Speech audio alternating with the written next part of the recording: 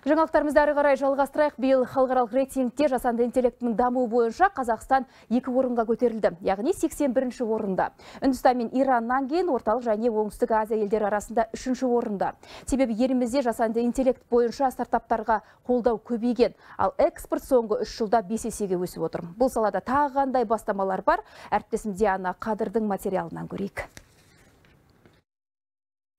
Елімізде жасанды интеллект сапалы және қарқынды дамуда мәселен өнеркәсіп, көлік және қаржы саласында. Тіпті біздің өмірімізге де еніп үлгерді. Мәселен қарапайым қолдағы телефонмен түрлі анимациядағы кейіпкерге еніп тіпті дауысты өзгерте аламыз. Бұл тізімді қазақ тілінде сөйлейтін алиса қазақша түсінетін чат gpt жалғайды. Ал медицинада тың өзгерістер көп.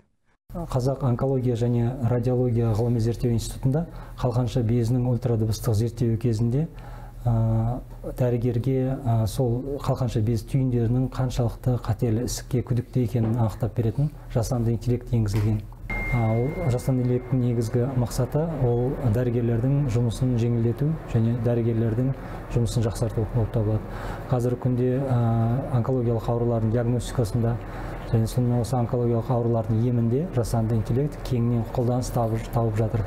Жасанды интеллект дәрігерлерге көмек құрал себебі келген науқасы толық тексеру, олардың құжатын енгізу, жасанды интеллект арқылы шыққан диагнозды қарап, қадағалау дәрігерге жүктелетін міндет. Дегенмен стартап жобалардың ұтымды тұсы бірнеше сағат алып келген процесті тездетіп, әлемдік озық методикаға сүйеніп, 10 минутта дұрыс шешім шығарады. Бұл жобамызды қолдану арқылы біз ә, диагностикамызды яғни пациентке арналған ә, диагностика іс шарасын ә, уақытын қысқарта аламыз. Және уақытын қысқарта отырып ә, диагностиканы дәлме дәл жүргізе аламыз. Әртүрлі әлем деңгейдегі авторлардың ә, ұсыныстарын қолдана отырып ем яғни ем жоспарын ә, құрып науқастарымызға ұсына аламыз. Ең ә, қуантары біздің дәрігерлерімізді бұл қағазбастықтан ажыратады. Яғни біз көптеген яғни ішкі энергиямыз бен концентрациямызды пациентті емдеуге жұмсаймыз Мәжіліс депутаты Серік Егізбаевтың айтуынша жасанды интеллект көктемде егінің қолайлы уақытын, күзде қанша өнім жинайтын әуелден нақ көрсетеді. Одан бөлек жиналыста алғашқылардың бірі болып, қазақша чат GPT-ді қолданып, уақытты тиімді пайдаланғанын айтады. Күзгі өнімді біздер жинағанда әкімшіліктердің арасында бір керек емес жарыс басталып кетеді. Ана өңірдікі көп мына өңірдікі одан да асып кетеді дегенде сол кезде айналып келіп ол қағаз жүзінде жоқ зат болып шығады. Сондай жаңағы әрекеттерге жасанды интеллект жол бермейді. Әртүрлі өңірдегі жұмыс істеп жүрген ветеринария саласындағы ғалымдардың практиктардың жеті үлкен тақ баяндамаларын қарасақ екі сағаттай баяндама тыңдау керек. Gpt чат жеті докладын алты минутта шығарып берді ғой бәрінде.